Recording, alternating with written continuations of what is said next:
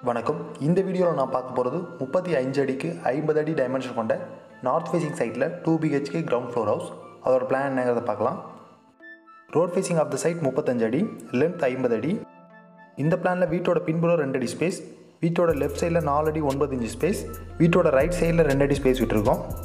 வீட்டோட முன்பகுதியில் ஸ்டெப்ஸோட ஏரியாவும் சேர்த்து எட்டு அடி பத்து இன்ச்சு ஸ்பேஸ் விட்டுருக்கோம். இப்போ ரூம்ஸோட டைமென்ஷன்லாம் என்னங்கிறத பார்க்கலாம்.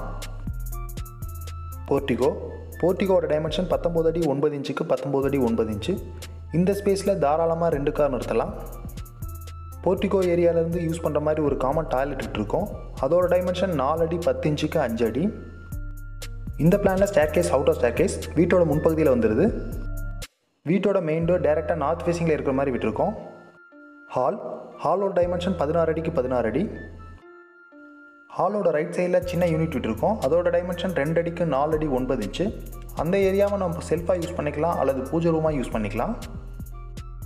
ஹாலில் இருந்து ஸ்ட்ரைட்டாக கிச்சன் வித் டைனிங் அதோட டைமென்ஷன் பதினாறு அடிக்கு பத்து அடி. ஹாலிலேருந்து ரைட் சைடில் ஒரு டோர் அது வழியாக போகும்போது மாஸ்டர் பெட்ரூம் அதோட டைமென்ஷன் பத்து அடிக்கு பதினாறு அடி. இந்த பெட்ரூம்க்கு ஒரு அட்டாச்சு டாய்லெட் அதோட டைமென்ஷன் அஞ்சு அடி ஆறு இன்ச்சுக்கு நாலு அடி ஒன்பது இன்ச்சு அடுத்ததாக செகண்ட் பெட்ரூம் அந்த பெட்ரூமோட டோரும் ஹால்லேருந்து யூஸ் பண்ணுற மாதிரி விட்டுருக்கோம். அதோட டைமென்ஷன் பத்து அடிக்கு பத்து அடி. அந்த பெட்ரூம்க்கு ஒரு அட்டாச் டாய்லெட் அதோட டைமென்ஷன் நாலு அடி பத்து இன்ச்சுக்கு அஞ்சு அடி. இந்த பிளான் படி இருக்கக்கூடிய வீட்டோட வாக் த்ரூ வீடியோட லிங்க் கீழே டிஸ்கிரிப்ஷன் மென்ஷன் பண்ணியிருக்கோம். அதில் போய் பார்க்கலாம்.